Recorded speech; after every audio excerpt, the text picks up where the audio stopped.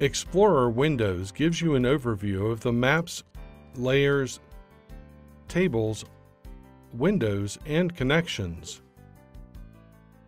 It includes the layer controls, table list, and other tool windows that can be used individually if that's your preference. All tool windows can be opened via the Tools Windows Gallery on the Home tab. You can use the Filter option at the top of the Explorer window to search for specific elements by name. This is very useful, especially if you have many tables, windows, maps, and layers. The label icon next to the map names lets you control whether labels in the map are selectable or not. This prevents you from accidentally selecting and moving labels while selecting and working with spatial objects in the map.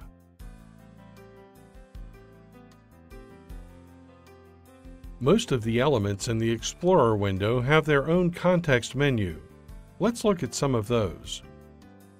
The context menu of the map element lets you rename the map, which helps you to identify what each map shows. You could use terms like England Overview Map or London Detail Map to highlight the content of each map. The Map Context menu also lets you zoom to the extent of the entire map, and you can access the Label Priority option. This lets you control the draw order of the labels if you want the order to be different from the order of the layers. The Layer Context menu lets you rename a layer, giving it a friendlier name. This is saved to the workspace. You can also zoom the extent of the layer and browse the data table behind the layer. These are just a few of the elements of the Layer Context menu. In the table list, you can sort the list of tables either alphabetically or by time, where the most recently opened table is shown at the top. You can also group the tables by type, which gives you a good overview of the different table types. Certain table types have a refresh and table info icon next to them. They appear when you move the mouse over the table. This lets you refresh, for example, Web Feature Service tables and database tables. You can also easily get to the configuration of tables, such as Web Feature Service and Web Map Service tables. The context menu for tables gives you access to browsing and modifying the table structure of the data tables. You can also easily access Update Column and Create Points for tables via the context menu.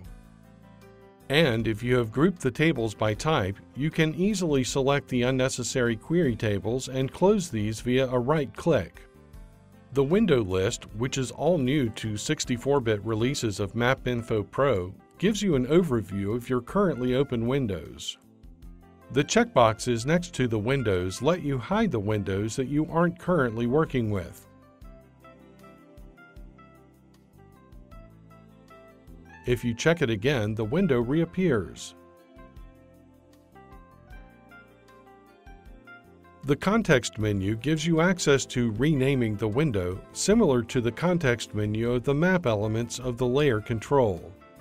You can also clone any window to create a copy of a window, be that a map or a layout. Finally, you have a list of open database connections, where the context menu lets you open database tables from the connection or close the connection.